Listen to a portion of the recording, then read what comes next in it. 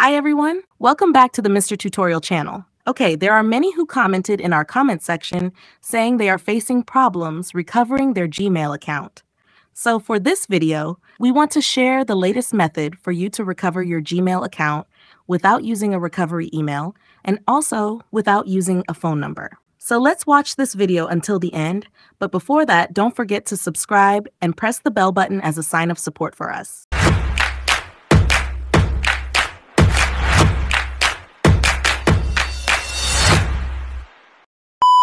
Okay, first of all, you need to change the location permission for the Google application and also need to change the location permission for the Google Chrome application on your phone. The way to change the location permission is easy. You press and hold a little on this Google application, and then this screen will appear. You click on the App Info section, and then this App Info screen will appear.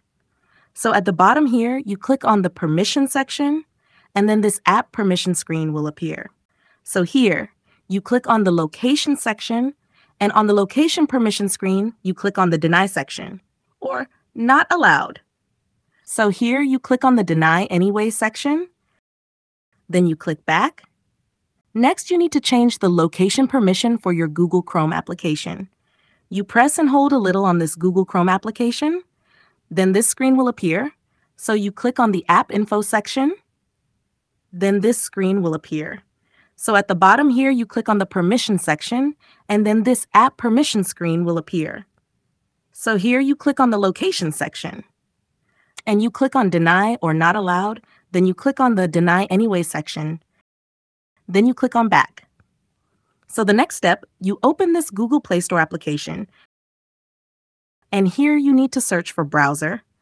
You just type browser here, then you scroll down, you choose this one, then you click on Install. So let's wait a while until the download and installation process is finished, okay? Then the browser you installed will appear. You click on Open, and then the main page of this browser will appear. So here you click at the top, then you type Google. After that, the Google screen will appear, right? So here you need to sign in to the Gmail account that you want to recover. So you click on the Sign In section, and then the sign in screen will appear. So here you need to enter the email address that you want to try recovering here. Then you click on Next, and then the welcome screen will appear. So here you are asked to enter the password for your Gmail account. The problem now is you forgot the password for your Gmail account, right?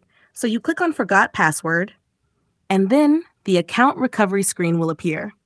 So on the account recovery section, Google will send a notification to the phone that you linked with the Gmail account that you want to recover. And the problem now is that phone is not with you. So you click on I don't have my phone. Then the couldn't sign you in screen will appear. So you are not able to sign in to your Gmail account. Don't try again too many times, yeah. If you keep trying again, there's a possibility your Gmail account will get locked. So the next step, you minimize from this application. So here you click on the settings section. And in this settings section, you scroll down until you find the Google section. You click on this Google, and then the Google service screen will appear. So in this section, you click on the three dots at the top, and then this screen will appear. So here you click on Help, and then the Help screen will appear. So here you need to search. You click on Search Help. Then here you type Term of Service. Then the search results will appear. Then you click on Your account is disabled. Then the Your account is disabled screen will appear. So here you need to scroll down until you find the Valid Legal Request section. You click this one. Then this screen will appear at the bottom. You click on here, and then the report content on Google screen will appear. So at the bottom here, you click on the link provided then this screen will appear at the bottom. So here you choose the browser that we downloaded and installed earlier, this one. Then the How Can We Help You screen will appear. So at the bottom here, you click on Google Account, and then the Browser Help Topics screen will appear, right? So you scroll down and you choose the How to Recover Your Google Account or Gmail section. Then the How to Recover Your Google Account or Gmail screen will appear. So here you scroll down until you find the Can't Sign In for Another Reason section. Then you click on Get Help Signing In. Then the Can't Sign In to Google account screen will appear. So at the bottom here, you will see several reasons for being unable to sign in.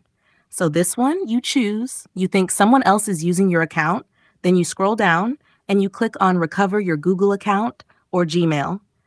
And then we wait a while and the account recovery screen will appear.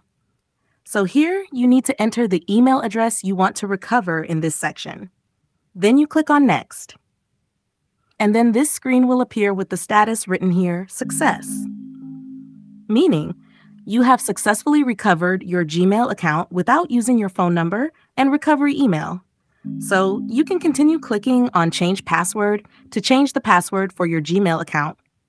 So you click on Change Password, and in this section, you can create your new password here.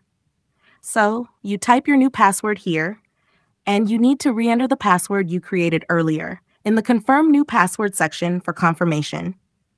Then you click on Change Password, and the status screen will appear. Your password was changed, and next time you can sign in to your Gmail account using the new password you created earlier. And then the welcome screen will appear. So you have successfully recovered your Gmail account without using your phone number and recovery email. That's all for today's tutorial.